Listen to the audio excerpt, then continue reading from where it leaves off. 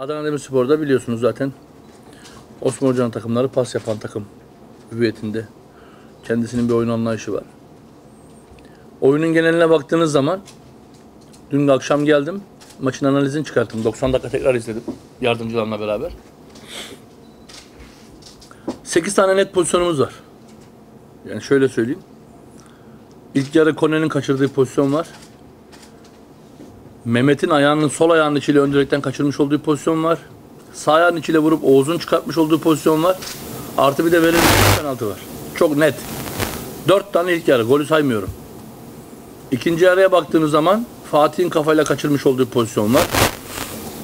Ee, Kone'nin bir pozisyonu var. Yine Mustafa'nın iyi bir friki var. Ee, yani Adana, Adana Demirspor gibi bir takıma karşı 7-8 tane net pozisyon yakalıyorsunuz. Ha bu işin sevindirici tarafı neresiydi? 3-1'den 3-3'e getirmeyi ba- başarabilmekti. Yediğimiz gollere ya da maçın geneline bakıyorsunuz. Yani hepimiz yaşadık gördük. Bireysel hata. Bireysel hataya çözüm bulamazsınız. Çok genç oyuncularla oynuyoruz. Elimizdeki oyuncular gelişime açık oyuncular ama bu yolda zaman zaman belki canımız yanacak. Dolayısıyla şu an için çok fazla bir şey söylemenin bir anlamı yok. İnşallah onlar da umarım hatalarından ders alırlar. Gündem yaratmak için şikayette bulunmadım.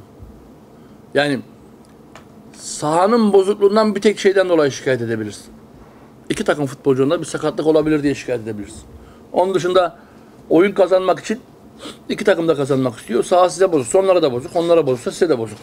Dolayısıyla o şekilde bir gündem yaratmanın çok doğru olduğunu düşünmüyorum. Ama sağlık açısından, sakatlık açısından iki takım oyuncularına da bir sıkıntı ya- yaşatacaksa doğru olmadığını buradan söylemek lazım.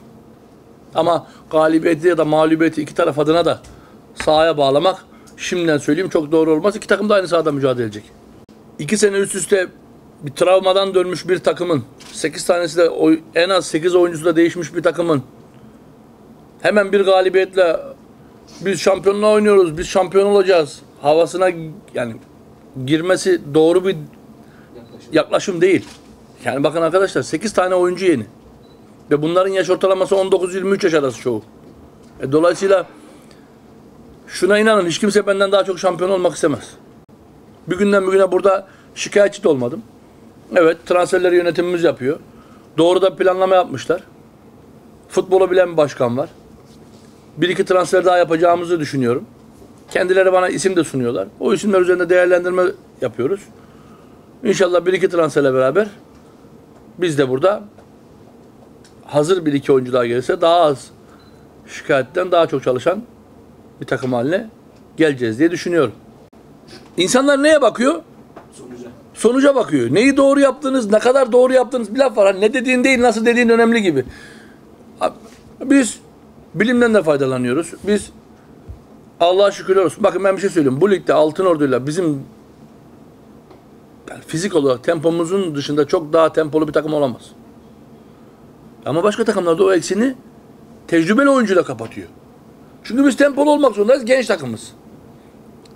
Herkes bir koşursa biz üç koşmak zorundayız.